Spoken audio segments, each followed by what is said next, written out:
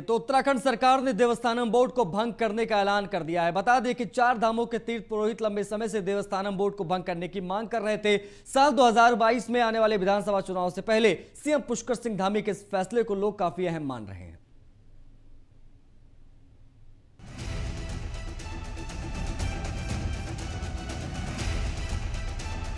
उत्तराखंड सरकार ने देवस्थानम बोर्ड को भंग करने का ऐलान किया है। चारों धामों के तीर्थ पुरोहित लंबे समय से देवस्थानम बोर्ड को भंग करने की मांग कर रहे थे। विधानसभा के शीतकालीन सत्र में इस एक्ट को कैंसिल किया जाएगा। वहीं चुनाव से ठीक पहले सीएम पुष्कर सिंह धामी के इस फैसले को काफ़ी अहम माना जा रहा है। राज्य सरकार के इस फैसले से तय हो गया है कि मुख्यमंत्री धामी अब आने वाले विधानसभा चुनाव को बेहद गंभीरता से ले रहे हैं और उन्होंने पहाड़ की सियासी नब्ज भी समझ ली है। देवस्थानम एक्ट को अगर वापस नहीं लिया जाता तो बीजेपी को सियासी नुकसान होने का अंदेशा था। पिछले दिनों देवस्थानम बोर्ड को लेकर लगातार विभिन्न विभिन्न प्रकार के सामाजिक संगठनों ने तीर्थ पुरुषों ने, हक हकूकधारियों ने और जो पंडा समाज के लोग हैं तीर्थ पुरोहित समाज के लोग हैं, विभिन्न प्रकार के जो हमारे जनप्रतिनिधि हैं, हमने सभी से बात करी है, सभी से बात करी है, सभी के सुझाव आए हैं, सभी के विचार आए हैं। और इसके साथ साथ मनोहर कांत ध्यानी जी ने जो हमने उनके स्तर पर एक उच्च स्तरीय समिति बनाई थी, उस कमेटी ने भी अपनी रिपोर्ट हमको दे दी है। हमने सारे विचारों पर, सारे पहलुओं पर सारा विचार करते हुए हमारी सरकार ने निर्णय लिया है कि हम इस अधिनियम को वापस ले रहे हैं और आगे चलकर हम सभी से बात करके, जो भी उत्तराखंड राज्य के हित में होगा, उस पर जो है आगे हम कार्रवाई करेंगे। चारधाम देवस्थानम बोर्ड को भंग करने के ऐलान के बाद से विपक्ष ने राज्य सरकार पर निशाना साधना शुरू कर दिया है। पूर्व मुख्यमंत्री हरीश रावत का कहना है कि बीजेपी ने जिस तरह से देवस्थानम बोर्ड को भंग करने की बात कहकर रोल बैक किया है, उससे ज़ाहिर है कि अब भाजपा जनता का विश्वास खो चुकी है। वहीं आम आदमी पार्टी ने देवस्थानम बोर्ड को भंग करने को लेकर लोकतंत्र की जीत बताया है और कहा है कि यह अहंकार के ऊपर सत्य की जीत है। इसमें सरकार की स्पष्ट तौर पर हार दिखाई दे रही है। चुनाव में उनको लग रहा है कि हम हार रहे हैं तो आसन्न हार से भयभीत सरकार का एक कदम है। ये तीर्थ पुरोहितों की, विवेकशील मत की और कांग्रेस की जीत है और सरकार इसमें एक घमंडी, अहंकारी व्यक्तित्व के रूप में दिखाई दी है और घमंड किसी का हो उसको नीचा देखना पड़ता है। आखिरकार सभी तीर्थ पुरोहितों का संघर्ष काम आया और इस अहंकारी सरकार को ये देवस्थानम बोर्ड का जो बिल है वो वापस लेना पड़ा। इसके लिए सभी तीर्थ पुरोहितों को बहुत बहुत बधाई क्योंकि पिछले लंबे समय से वो संघर्ष करते आ रहे थे और आम आदमी पार्टी उनके साथ कंधे से कंधा मिलाकर संघर्ष कर रही थी। दो सालों की जद्दोजहद के बाद आखिरकार मुख्यमंत्री पुष्कर सिंह धामी ने देवस्थानम बोर्ड को भंग कर दिया। इसके साथ ही उन्होंने एक तीर से कई शिकार किए हैं, जहाँ मुख्यमंत्री पुष्कर सिंह धामी ने अपनी एक मज़बूत नेता के तौर पर इमेज को बनाया है। वहीं विपक्ष के हाथों बैठे बिठाए मिल गए सियासी मुद्दे को भी खत्म किया है। अब देखना यह है कि देवस्थानम बोर्ड को भंग करने का यह फैसला बीजेपी को 2022 में कितना कामयाब बना पा धामी सरकार के चार धाम देवस्थानम बोर्ड वापस लेने के ऐलान के बाद भाजपा के ही कई नेता वाहवाही लूटने की कोशिश कर रहे हैं। हालाँकि पूर्व सीएम त्रिवेंद्र सिंह रावत ने धामी सरकार के इस फैसले से किनारा कर लिया है। उन्होंने कहा है कि मैं तो मुस्कुरा भी नहीं सकता। क्या पूछना बताओ, मुझे पता क्या पूछना तुम। क्या क्या पूछना बताओ? क्या है बताओ? पूछ लेंगे तो अरे क्या पूछना बताओ? मुझे पता है क्या पूछना तुमने। मैं तो मुस्कुरा नहीं सकता तुम्हारे सामने। क्या है बताओ? पूछ लेंगे तो अरे क्या पूछना बताओ? मुझे पता है क्या पूछना तुमने। मैं तो मुस्कुरा नहीं सकता तुम्हारे सामने। देवस्थानम बोर्ड को भंग करने के राज्य सरकार के फैसले को उत्तराखंड बीजेपी के प्रदेश अध्यक्ष मदन कौशिक ने उसका स्वागत किया है। मदन कौशिक ने कहा है कि यदि कोई निर्णय जनहित में वापस भी लेना पड़ता है तो उसे सहजता से स्वीकार किया जाना चाहिए। न्यूज़ वन इंडिया के विशेष संवाददाता सुदीप जैन ने इस बाबत मदन कौशिक से खास बातचीत की देखिए। उत्तराखंड सरकार ने आखिरकार तीस नवंबर के दिन देवस्थानम बोर्ड के मसले पर अपना मत स्पष्ट कर दिया है, सरकारी व्यवस्था वापस लेने जा रही है।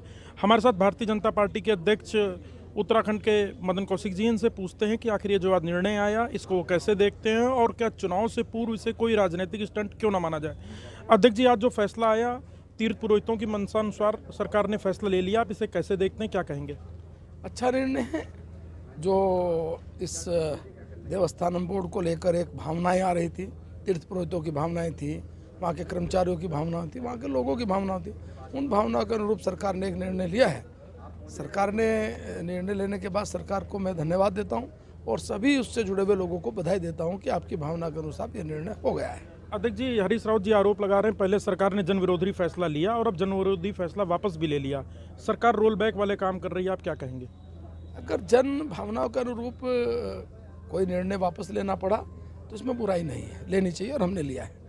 तो ये उत्तराखंड भारतीय जनता पार्टी के अध्यक्ष मदन कौशिक हैं, जिनका कहना है यदि कोई जन भावनाओं के अनुरूप फैसला वापस लेना पड़ता है तो उसे लिया जाना चाहिए और हमने लिया भी है। कैमरामैन अनूप भट्ट के साथ Sudeep Jain, news one India, Dehradun. का दिन बहुत खुशी का दिन है, क्योंकि आज के दिन हमारे माननीय मुख्यमंत्री जी ने देव देवस्थानम बोर्ड को भंग किया हुआ है।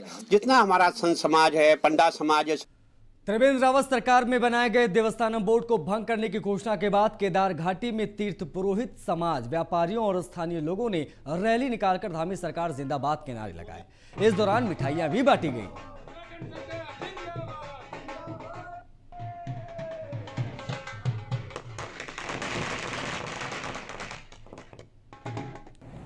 त्रिवेंद्र सरकार ने जब से देवस्थानम बोर्ड लगाया, तब से चारों धामों में और प्रत्यक्ष, अप्रत्यक्ष रूप से हमारे साथ देने वाले लोगों ने इस पर बड़ा विरोध किया और आज धामी सरकार घोषणा करने के नतीजे पे पहुँची। सरकार, धामी जी ने कहा कि हम इसको खत्म कर दें लेकिन सरकार को हम श्रेय नहीं दे सकते हैं। सरकार को इसको कैबिनेट में लाना पड़ेगा। कैबिनेट के बाद इसको विधानसभा में लाना पड़ेगा। आपको बिल विधानसभा में भंग करना पड़ेगा। उसके बाद हमारी पुरानी व्यवस्था जो पुराने परंपरा है, उसको बहाल करना पड़ेगा। तब जाके हम सारे चारों धामों के तीर्थ पुरोहित सरकार को एक बड़ा श्रेय देंगे। ये एक बहुत ही सुखद दिन आज है और एक पर्व का दिन भी है आज, जो युवा नेतृत्व जो है पुष्कर सिंह धामी ने ये कुशल फैसला सुनाया है, वो धर्म के हित में और सनातन प्रेमी जितने भी हिंदुत्ववादी लोग हैं दिल्ली के समाज कल्याण मंत्री राजेंद्र पाल गौतम उत्तराखंड के चार दिवसीय दौरे पर हैं। विकास नगर में जनसभा को संबोधित करते हुए राजेंद्र राजेंद्र पाल गौतम ने कहा कि उत्तराखंड में बिजली बनती है, लेकिन तब भी यहाँ लोगों को सस्ती बिजली 24 घंटे नहीं मिल पाती है। सरकारी स्कूलों का स्तर उत्तराखंड में बद से बदतर हो गया है, जो सरकार आपके बच्चों का, बच्चों की पढ़ाई, रोज़गार अच्छा भविष्य नहीं दे सकी, ऐसी सरकार का क्या करना चाहिए? राजेंद्र पाल गौतम ने जनता से पूछा कि उत्तराखंड में बार बार मुख्यमंत्री बदलने वाली सरकार चाहिए या जनता से किए वादे पूरे करने वाली सरकार?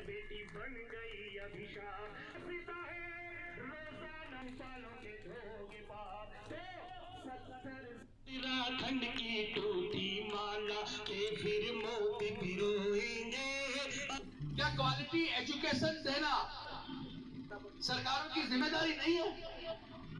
तो सौ रुपए का भी जुगाड़ नहीं गरीबों के लिए बेटी बन गई अभिशाप। पिता है रोज़ाना सालों के धोगे पाप तो सत्तर। खंड की टूटी माला के फिर मोती पिरोएँगे। क्या क्वालिटी एजुकेशन देना? सरकारों की ज़िम्मेदारी नहीं है। मैं आप सब साथियों से निवेदन करता हूँ, पढ़े लिखे हैं आप। आज बीजेपी जितने चुनाव लड़ी है, उनके सारे घोषणा पत्र निकाल लो। कांग्रेस अब तक जितने चुनाव लड़ी है, उनके घोषणा पत्र निकाल लो। और आम आदमी पार्टी अब तक जितने चुनाव लड़ी है, अब हमारे भी घोषणा पत्र निकाल लो। और उसके बाद देखो, इन तीनों पार्टियों में से कौन सी ऐसी पार्टी है जिसने अपने घोषणा पत्र के अंदर जनता से किए हुए वायदों को पूरा किया? उसके बाद अगर आपको लगे कि आम आदमी पार्टी अकेली ऐसी पार्टी है जो अपने वायदों को पूरा करती है तो उत्तराखंड के अंदर 2022 में आम आदमी पार्टी को चुनकर लाओ। उत्तराखंड में गन्ना समर्थन मूल्य में करीब तीस रुपए का इजाफा और सितारगंज चीनी मिल के शुरू होने पर सीएम आवास में किसानों ने मुख्यमंत्री पुष्कर सिंह धाबी और मंत्री यतेश्वरानंद का सम्मान समारोह का आयोजित किया। इस मौके पर मुख्यमंत्री ने कहा कि किसानों के लिए सरकार हर मदद को तैयार है। वहीं किसानों ने भी सरकार के इस फैसले का स्वागत किया।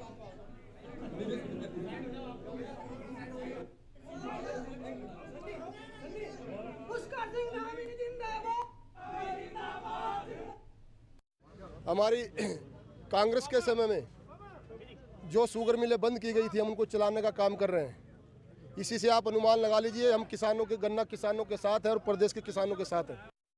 हमारी कांग्रेस भाइयों को बहुत शुभकामनाएँ देता हूँ क्योंकि हमारे किसान भाई, अन्नदाता हैं और जो हमारे गन्ना उत्पादक हैं, बड़ा परिश्रम करके अपना गन्ना उगाते हैं। और उनके गन्ने का उचित मूल्य मिलना चाहिए, हमने, हमारी सरकार ने तय किया है कि तीन सौ पचपन रुपये प्रति कुंटल के हिसाब से जो अगड़ी प्रजाति के जो गन्ने हैं, उनका हमने दाम फिक्स किया है। इसके साथ साथ जो सामान्य प्रजाति के हैं, उनका 345 हमने फिक्स किया है। और साथ में जो पिछले वर्ष ग्यारह रुपये जो भाड़ा था, उस भाड़े को हमने कम किया है, साढ़े नौ रुपये किया है। सब मिलाकर उनतीस रुपया पचास पैसा पिछली वर्ष की तुलना में हमारे किसानों को अधिक मिलेगा।